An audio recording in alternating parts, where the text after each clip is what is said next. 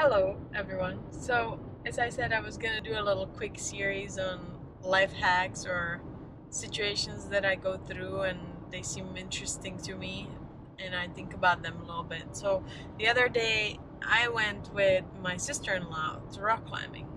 We were climbing, and I've noticed that she is actually a way better climber than she allows herself to be. The defining factor was the fear that she was feeling and the fear of falling.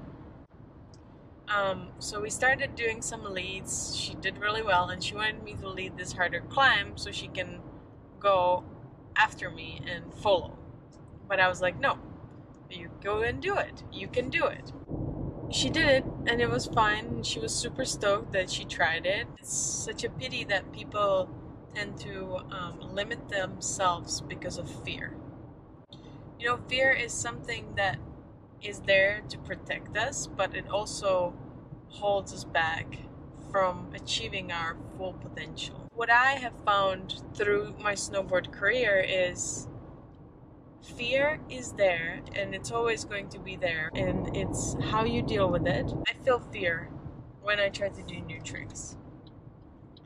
I definitely am scared of hitting big jumps, but I put myself into the situation that after a while it just gets easier and first time I do a 900 it's probably pretty scary and second time third time even the 10th time it's still the same scary but I feel like I can do it and I calm down a little bit more. You cannot expect to get better at dealing with uncomfortable situations by not taking any steps towards it. So if you want to get better at dealing with uncomfortable feelings, you have to face these feelings little by little. And then, after a while, this becomes way smaller problem than it was at the beginning.